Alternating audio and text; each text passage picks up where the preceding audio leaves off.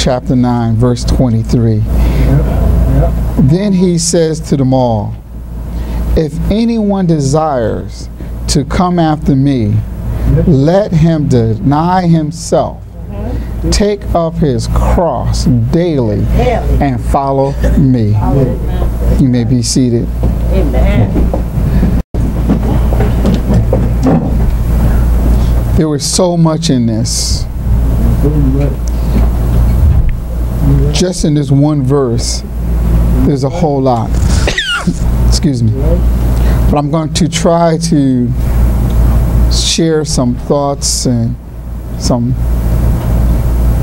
some uh, emotions and some the way the Lord was speaking to me. And actually, He started on Wednesday night, and I saw something.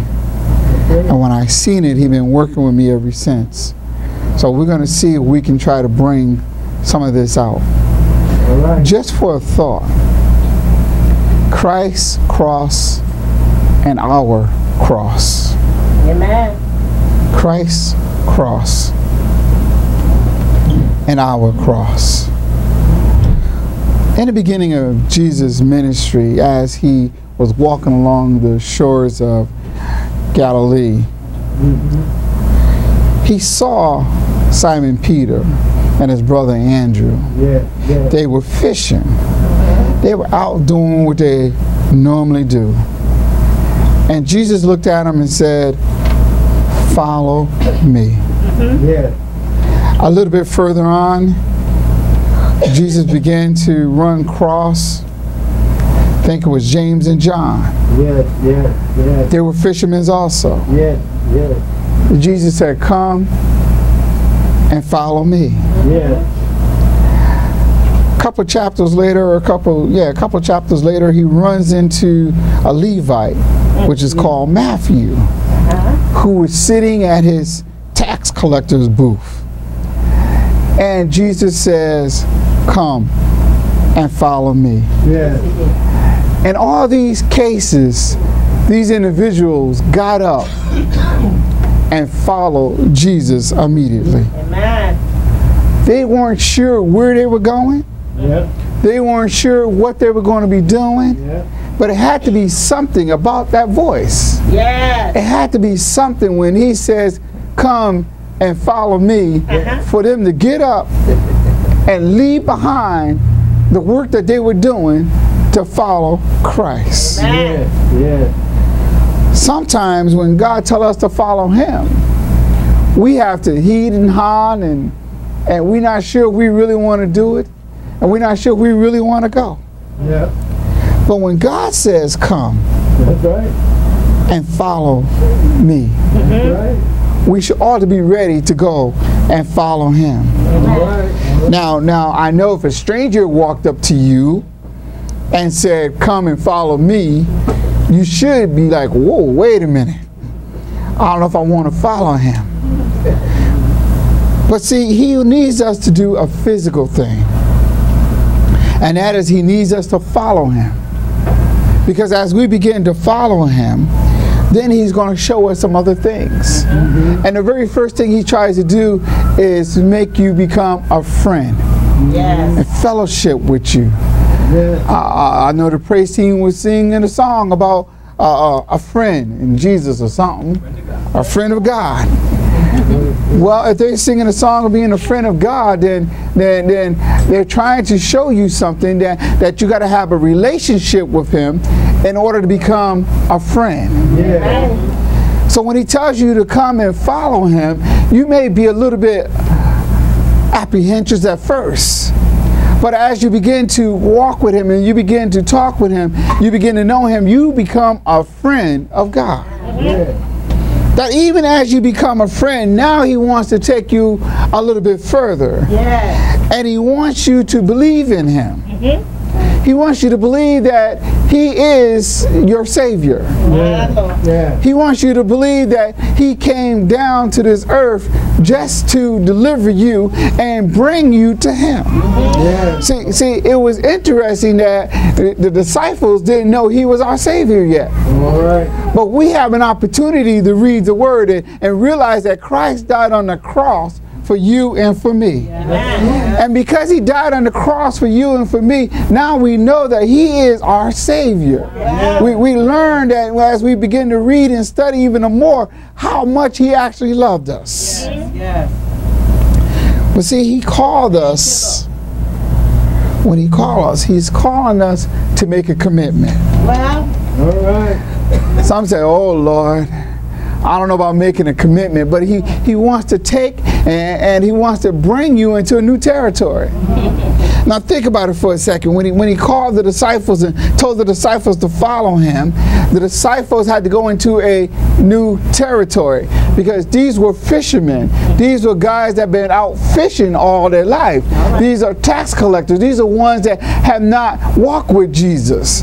But now folks begin to walk with Jesus. Now Jesus, I, I, think about this for a second, because because Jesus pulls up to an island and, and the man comes running out of the tomb and he had cut himself with rocks and he's bleeding all over the place. Now, now that's a new territory. all right, all right. If I had never seen that before, and I, and I see this crazy man running and screaming and hollering and cutting himself, and Jesus got me following him, that's a new territory. Wow. But then when you see Jesus take and cast the demon out of him and put the demons and the pigs, and the pigs take off and run and go into the water, that's new territory when they walking along the road with Jesus and, and they walk to, to a house where the one the girl had already died.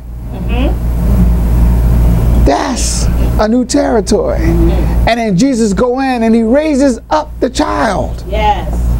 The disciples had never seen anything like this. This is a new territory.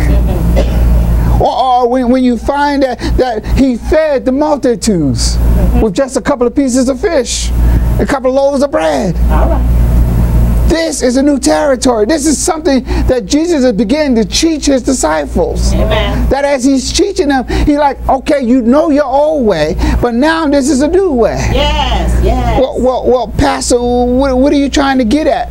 Well, now you decided you want to follow Christ. The old ways have passed away. yes. Now you're walking into a new territory. Well, I never seen anybody fall on the floor and, and squander and, and go back and forth, and then we run over and pray for them. Mm-hmm. Some folks would have ran out the door. Mm-hmm. All right, all right. Some folks would have called 911, All right. thinking somebody was having a heart attack. Yes. Some folks have never heard anybody standing up saying what God has done for them, how God has delivered them, or how God has gave them a place to live, or how God has healed them. Uh-huh. This is totally new territory. This is something they have never seen before. This is something they only heard about on TV. But but yet when you walk in the presence of God and God begins to operate in you. Oh my God, oh my God. And before I leave this this commitment, you know, some folks don't like the word commitment. Some folks, you know, I come in, I want to follow Jesus. I, I see how he he came in and, and, and he healed that person. Yeah. And I've been reading the scripture. I pray a little bit, but let me go over here first. Well, I don't know if I'm ready to just completely follow God as, as He wants me to follow Him. Uh, I know there's a club down the street and somebody's giving a party tomorrow night and, and I really want to go to the party. So maybe I'll go to the party first and then I'll follow Jesus. all right. See, see, some of us want to put some some things in the way, or, or that but in the way that we can't truly give our life to Christ. And because we can't truly give our life to Christ, we, we, we always look for a way out. We look for we look for that but. Yes, yes. But when you begin to look for that but, that but is what get you in trouble. Uh-oh. Amen. God said, I already have your blessings stored up for you. I already know where I need you to go and where I need you to do. But you keep putting this but in the way. Yes, yes. You want to go and, and see your father before your father dies, or you want to go and fellowship with some other folks before you do my work. Oh, oh my God. But Help us, God. now, now, now, now I'm, I'm, I have to jump around a little bit. I, I was trying to go in order, but but I got to jump around a little bit. See, see, God has called us to a service. Yes. And when he called us to a service, he, he didn't say, I just need you to come and sit in the pews. he said, I don't need you to come and just watch the preacher. Right. I don't need you to just come and clap when the praise team say clap. Uh-huh. He said, I called you for a reason. Each and every person I called into the ministry because you have a service to do. He, he said, you may not be able to play the organ or the drums like, like these brothers here, but I called you to do something. He said, you may not be able to be an usher on the door like some other folks, but I called you for a reason. He said, I, I, you may not be able to, to stand up and study and read and teach like somebody else, but I called you. Oh my God. He said, but what I called you, he said, now, now, now, now watch this. He's, he said, he said, now I called some of you Mm-hmm to pray for folks. Yes. Yeah. Yes. I, I, I need an intercessory ministry that's just want to come out and work and pray for, for those who are sick, for, for those who are bound, for, for those who are tied down. I, I, I- I need somebody who, who's faithful enough that will say to themselves that I'm going to fast for three days. And as I fast for three days, I know that God is going to step in the mix and God is going to begin to heal those people that I'm praying for. See, see, it ain't all about the pastor, but it is about the service that God has called you to. Oh, y'all, y'all, y'all, don't, hear- y'all don't hear me. He said, well, well, maybe I can't pray. Well, we need other folks to help clean the church. Now, now, now, tell me you can't clean. Uh, uh, uh, 'cause- because some folks can clean better than they can do anything else. So and, and, and yet you sit back on your on your hands and, and say, well, I, that ain't no service. Well, it, it tells me in the book of First Corinthians, I think it is, is one of the gifts is the gifts of helps. And if it's a gift of help, then you're supposed to be helping. Uh, uh, uh, so if one of the help is to help clean the church, then that's what we need to be doing is help cleaning the church. Oh my God, y'all, y'all don't hear me. See, see, see, see. Oh, we, we, we need a, a new members class in this church. But you got to stop and see if you recognize that if we need a new members class in this church, how can you help to do this? If God has placed it on your spirit to help out in a ministry and you just sitting there, oh my God, then, then, then what are you really telling God? You telling God, thank you, but I, I want to, but I can't, but but yet He don't turn around and bless you over and over and over again. Eh, oh. Yes, yes, yes. We needed help in the youth church. One Sunday out of the month, go down there and spend some time with the kids. Well, I don't know if I have the intelligence to go down there and spend with the kids. Are you smarter than a five year old? Hallelujah. I mean, because because if you get down there with the kids and the kids begin to tell you what the scriptures say, then you need to get into the scriptures. That's a way of helping you to learn to be even more of what God is calling you. Yeah. Now, now, now, I, I, I, I, I can stay there all day because because there's so much stuff that could be done around this church, and we're talking about moving to another church, and, and yet we still got folks that won't even go and give out a track. We got folks that won't even stand on the corner and invite somebody to church. We got a couple people that'll go work in the soup kitchen, and, and then we got a couple people that may go to the shelter. But if you look around, it's the same people that's doing the same things all the time. We have a whole church full of people.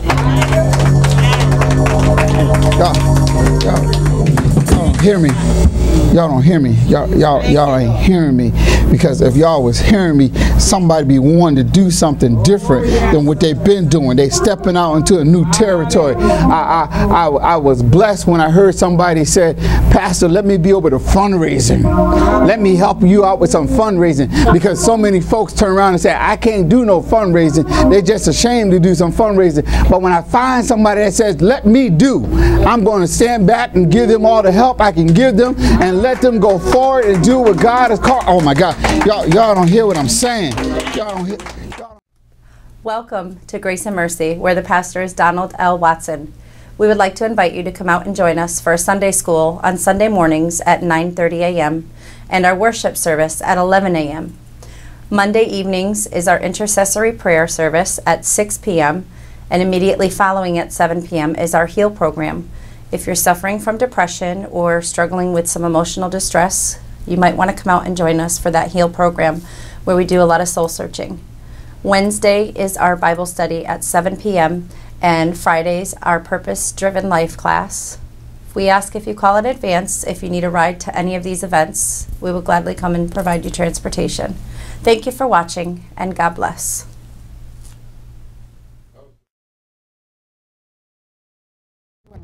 See, see, the book says, the book says that we have to bear, take up our cross daily uh-huh. and follow me. Amen. This cross is very, very important. I'm only could touch on the surface of the cross that we're taking up and following Him daily.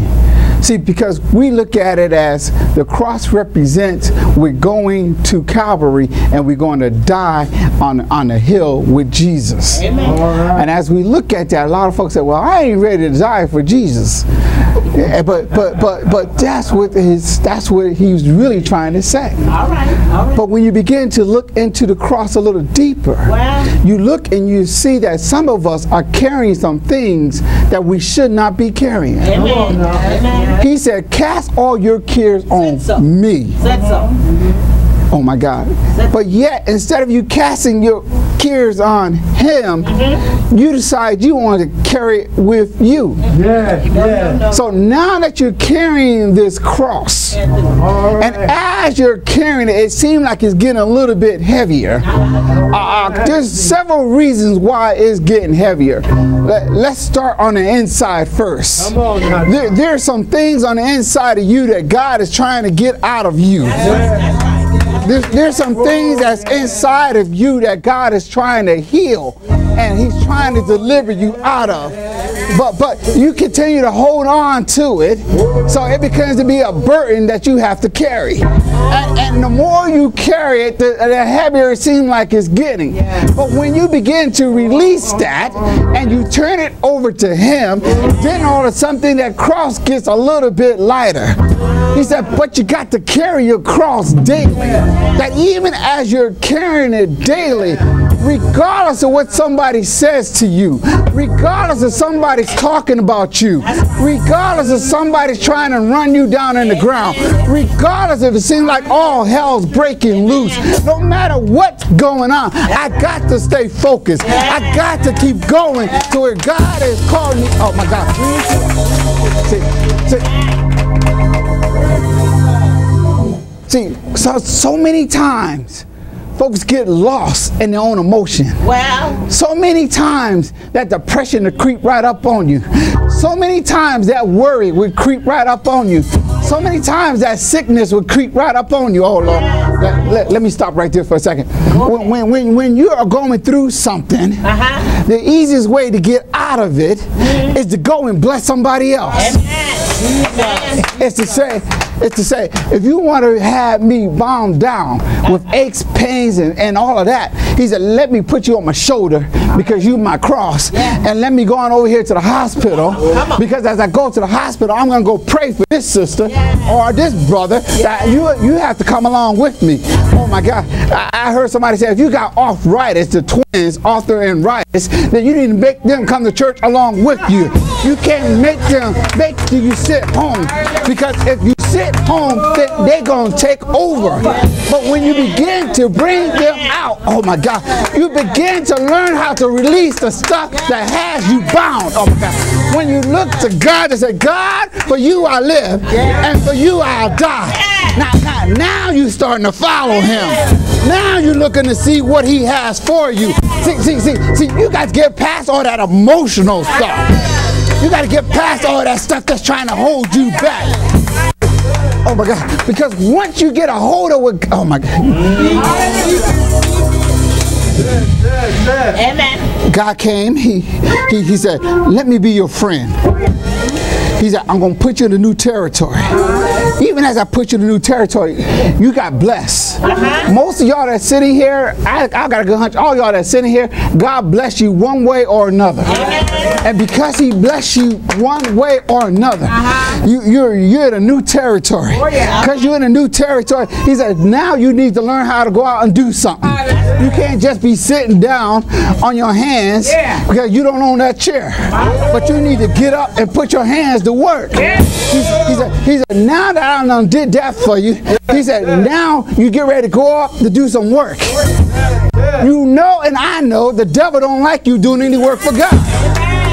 As soon as you put your hands to something, as soon as you begin to do something, you know and I know the devil's going to attack you. You know, oh my God. I've been trying to get over this and over this and over this. I thought I got over it. And here come the devil. All right. That hurt that you had deep down inside, that you had all covered up. Uh-huh. Nobody knows what you've been going through because you have smiled all the time. All of a sudden, it becomes a burden. All of a sudden, it begins to grow in you even more. God said, I know it's growing in you. He goes, but I want to take that from you. And that as I take that from you, he goes, now you don't have to worry about it no more. He said, you know how I know he took it from you? He said, when I died on the cross, I had you in mind. Yeah. When I died on the cross, I know what you was going to go through. Yeah. When I died on the cross, I had all your burdens, all your sins, all your emotions, all upon me when I died on the cross. He said, and I died, I mm. Can have life, and you can have life, and that you can have it more abundantly. But sometimes, oh my God, mm, we begin to listen to the devil. And as we begin to listen to the devil, we realize that because the devil is talking, that we forget about what God has done for us. We forget about how we were sick and couldn't get up. We forget about how we had so much drugs on us, we didn't know which way to turn. We forget about how we had no roof over our heads, how we had to sleep on the corner. We forget about how we had no money in our pocket. We forget about where God has brought us from.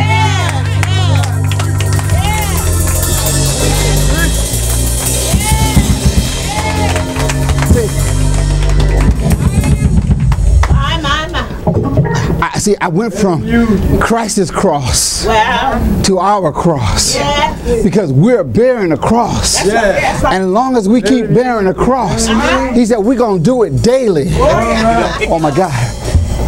He didn't say you're only going to do it for a short period of time. That's right. That's right. You know, when, when, I, when I first went into ministry, That's right.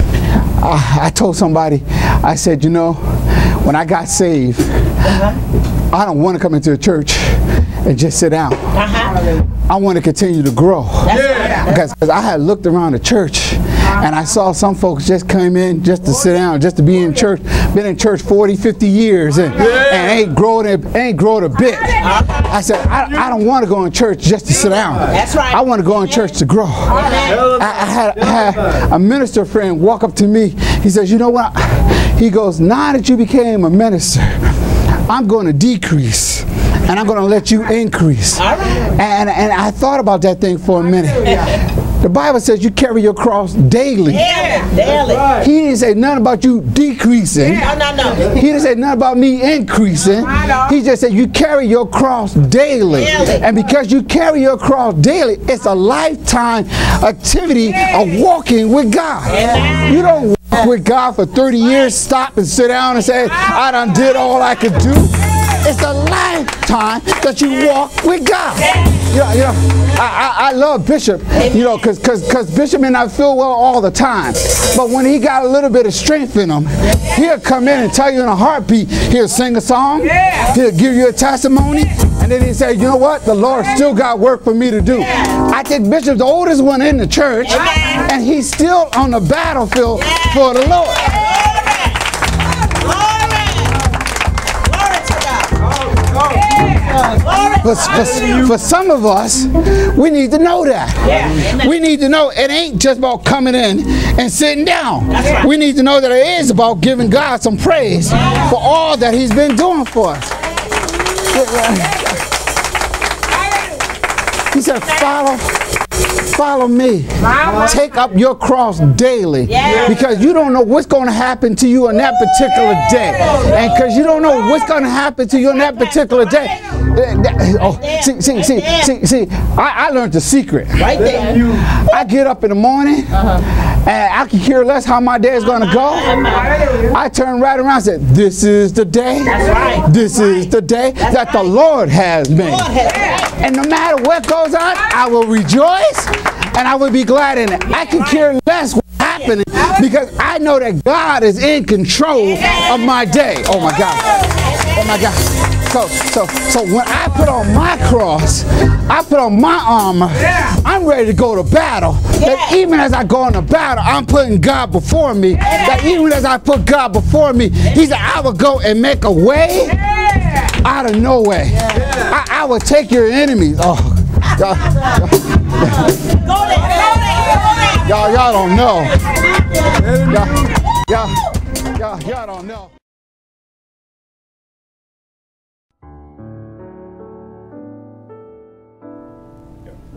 Thank you for watching our broadcast today. We hope that you truly enjoyed whatever you might have seen or heard. And we ask so that you, if you're ever in the Middletown area, that you would stop by and come visit us. Or either that, send us an email, send us a letter. I have heard from some of you already of some of your requests, and you, we will pray with you and along with you. Um, at this time, I just want to go into a brief moment of prayer.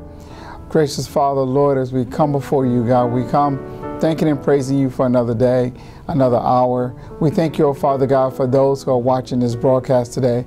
We ask, oh Lord God, you continue to touch those. There might be somebody who is sick and shut in today, God. We ask that you will bless them, oh God. Give them the strength, oh Lord God, of what they need, oh Father. Father, somebody's thinking about suicide, oh God. We ask, oh Lord God, that you intervene with that, oh Father God, that they don't commit suicide, oh Father. Somebody's thinking about getting high. Somebody's thinking about taking a drug, oh Father God. Somebody's in a state of depression today, God. That even as they're in a state of depression, oh Lord God, they need you, oh Father, to help lift them out of that state of depression. We ask you now, God, to step in the midst, oh God. Send a word, oh Father God, that somebody will get pulled out. Somebody will get help, oh Lord God. Somebody will be delivered, oh God. Father, have your way this day, oh God. And God, we continue to give your name all the praise, the honor, and the glory.